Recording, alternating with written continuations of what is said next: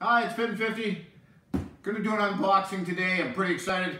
We got our uh, our upgraded equipment to improve our videos. I said when I hit 100 subscribers that uh, we were gonna buy some more equipment, and here it is. It all came in the mail. I actually had to turn this box this way. You see what they went and did to me here? They just sent this thing just mangled.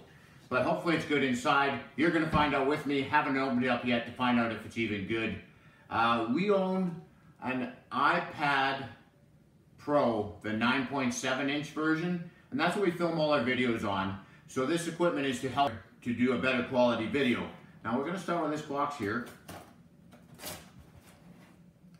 And uh, see what we got, see if I can keep from stabbing myself. There's still more stuff I can get to upgrade, and I'm not sure when exactly I'm gonna do it, but I'm thinking when I hit 250 subscribers, I'm gonna do my next upgrade. Get rid of all the packaging. And there we are. We have a Samson XPD1. Look at. I can read it from the back so I can look really intelligent. USB digital wireless system. So this is a remote mic. It's a clip-on mic. Let's open it up here. See what we have. Which will help to improve the voice quality a bit, or that is the plan. Look at that. There we are. We'll just take that out of the packaging. A little bit more.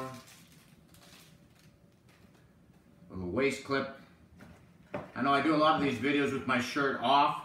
So but on the upside I use a bow tie. So this clip is gonna have to go on the bow tie.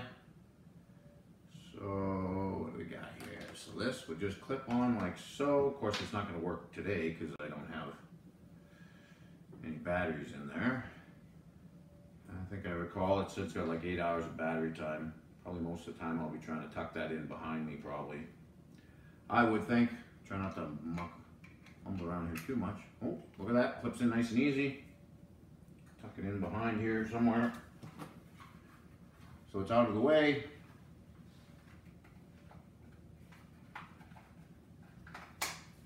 and onto my belt. So I guess that's exactly how I'll use that when we uh, start using it, other than I'll probably clip it on my bow tie.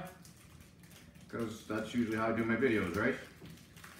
And then this part here, that's the part that clips in to the iPad. I might have to get an adapter end for that, you know that? We'll see when we get down to this box. This box here might answer that. But we're going to do, yeah, we'll do it next. Because this box ties into that one. So I'll just set this one here for now. And we'll get some of that paper out of the way.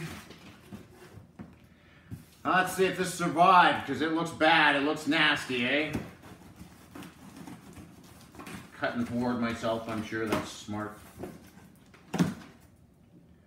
Alrighty. Actually, a little more scarily packed considering how the damage was, and a guy would think, oh, these are the these are the exciting thing. Okay, first, this here, there it is. That's my iOgrapher, and it's got the handles on the side. Let me open it up here. Uh, let's open it up here.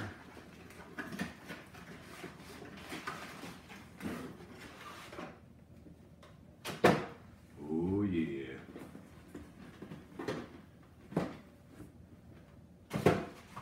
So there it is. So my iPad will actually go in here and that hole right there is where the video will be filmed. And so it's got the two handles so that you give a little more uh, stability to my wife when she's filming.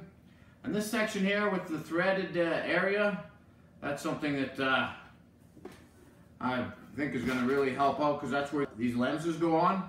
And this particular one is 37 millimeter wide angle lens. And it, I think, is going to help when I'm moving around more in that space that we film our videos in upstairs, which hopefully one day will be more like a studio than a spare bedroom. And uh, there it is. I'm to put it right back in the box after because I want to keep it nice, but see if we can even, maybe even screw this one on. And then that will screw right into here.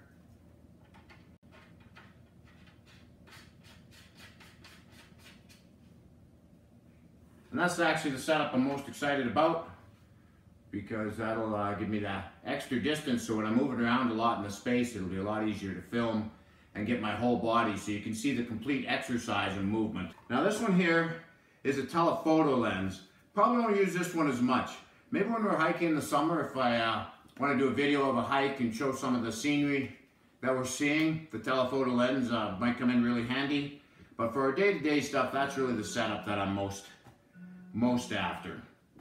Alrighty, guess what? Timer's going off. Let me just shut this off here.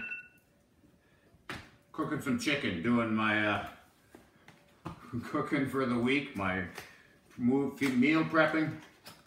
So just go on to the last item here, and then I'll go deal with my chicken. And this here is a pogo stick. So the reason why we wanted to add this on to our list of things to get is it just creates a little more movement. Actually screws right into the bottom of this, like that. Wow, this just come together like magic.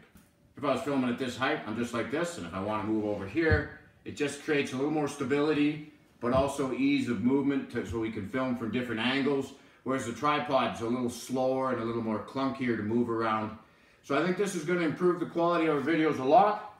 So keep an eye out, see if you can see the difference. Leave a comment if you can see some difference. Maybe also leave a comment on some equipment that you uh, might suggest that I use for future upgrades because I'm going to continue trying to upgrade my equipment so I can improve the quality of the videos to give you guys even better content. So anyway, this is Fit and 50, sign out, keep working out, keep having fun, and we'll talk to you in that next video where we'll be trying all this cool new stuff.